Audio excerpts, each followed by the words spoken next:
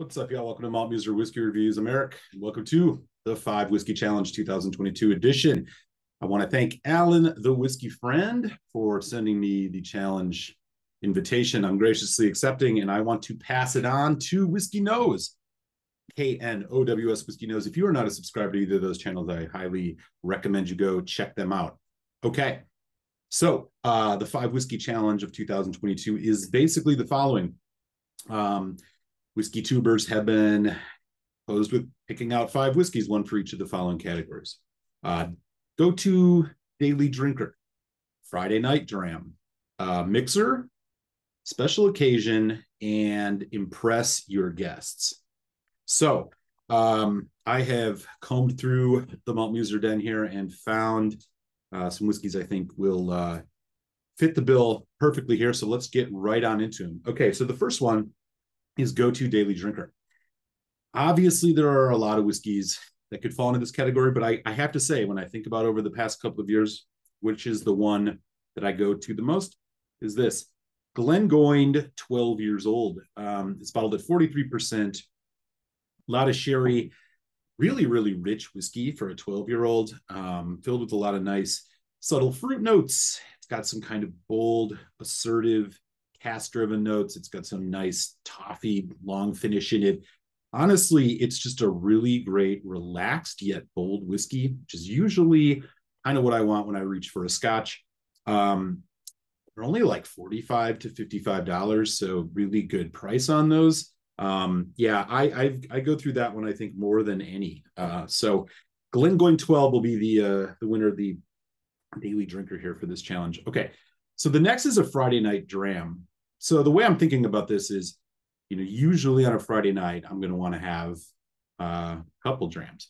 So I don't want to choose anything that's too high ABV. I don't want to choose anything that's overly peated because it's or overly heavy sherry because it's really just going to destroy my palate and I won't enjoy the whiskeys afterwards. So the one that I'm going to choose here is bottled at 46%. It's a Highland whiskey, non-chill filtered, natural color. It's a nice one, Glencadam 21. I think this meets the mark for a Friday whiskey. Something a little bit more top shelf, yet isn't going to uh, really overpower with big blanket flavors. It's got a lot of subtlety, yet it's got character. 46% is giving you a nice little uh, pep in your step. Um, all in all, a really great whiskey, pretty affordable too for a 21 years old.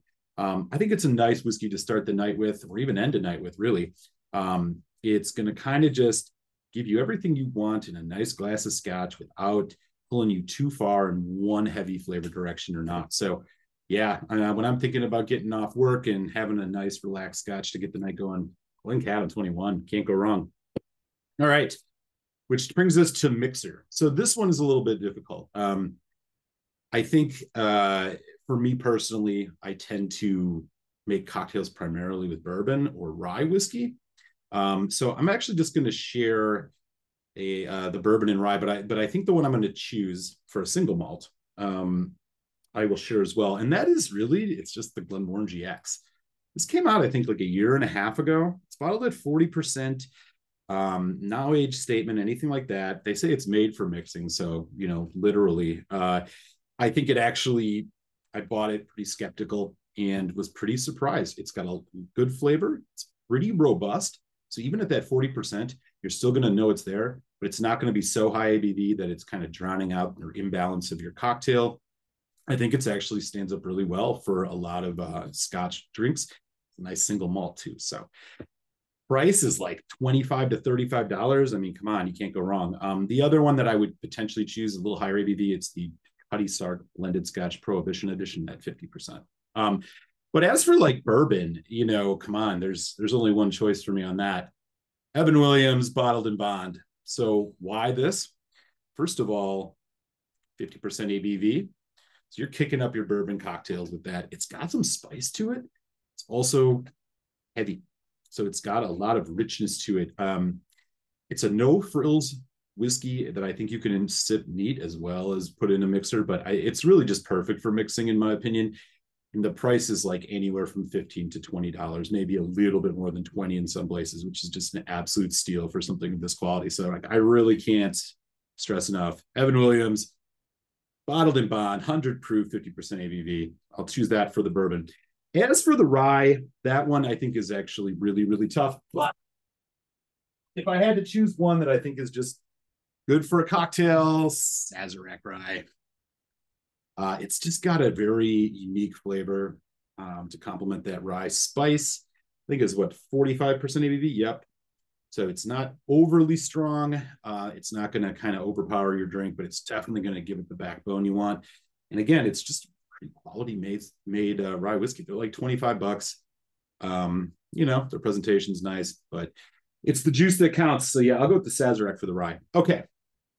So moving on from mixer mixers, special occasion dram. So I'm thinking about special occasion in the sense of, you know, celebrating uh celebrating something big in life, celebrating for somebody else, maybe a whiskey friend, something good happening to them. What whiskey am I going to bring out for this special occasion? This is the one I'm going to bring out. Bunnahabhain, 25 years old. I mean, what is what can be said about this? 46.3%. It's a huge whiskey, ton of flavor. Um, it's got a, that signature kind of Bunnahabhain character, so it's got some character and nuance to it.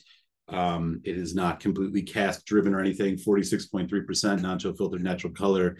Um, really, really expensive stuff, but some of the best whiskey I think I've probably ever had.